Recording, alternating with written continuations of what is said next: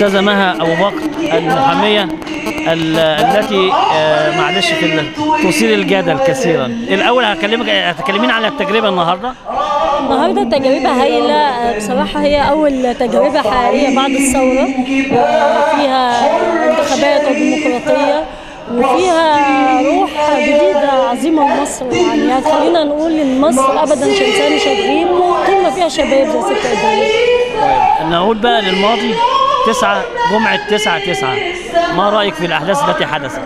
آه، تسعة تسعة. أنا طبعا آه، يعني كنت مشاركة في الميدان وفي الجدار هد الجدار وفي آه، مع الالتراس من الصبح عند دار القضاء العالي عشان جمعية القضاه آه، وأنا مع كل اللي حصل يومها. ولو إني ما كنتش جوه السفارة لكن كنت أتمنى أبقى مع اللي كانوا جوه السفارة. لأنه محتاجين نقول للكيان الصهيوني إن إحنا أقوياء ولازم تعمل لنا حساب.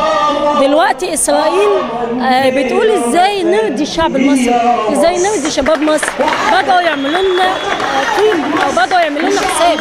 إذا المجلس العسكري مش قادر يعمل ده فلازم الشعب المصري يعمل ده. وده اللي حصل يوم 9 9 طيب حضرتك عضو في لجنة إيه نقابة المحامين؟ لجنة الحريات؟ مش سامعاك؟ لجنة الحريات حضرتك؟ آه عضو لجنة الحريات وعضو حركة كفاية. هتقدمي إيه كصفتك؟ محامية وفي لجنة الحريات للذين يحاكمون الآن. بتهمة اقتحام السفارة الإسرائيلية؟ أنا بحضر كل المحاكمات. طبعا هو في محاكمة اللي هي بتاعت مبارك والعدلي ونجلي مبارك. أنا حاضرة كل الجلسات وأنا عضو هيئة الدفاع.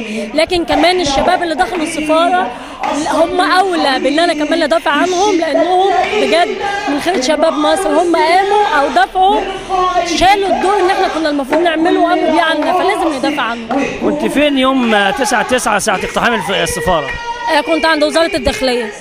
إيه عملت إيه؟ آه، كنت مع الالترس آه، واقفين بنحتفل بإن ما فيش ولا عسكري واقف قدام الوزارة.